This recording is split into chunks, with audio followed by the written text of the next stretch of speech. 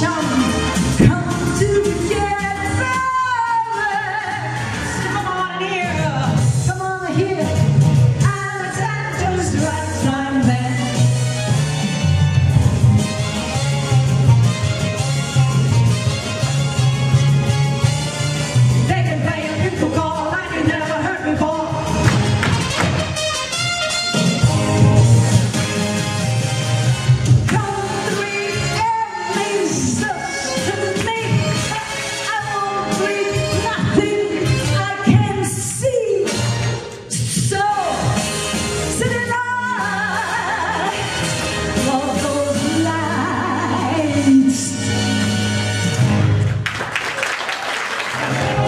may not go far, but sure as the star.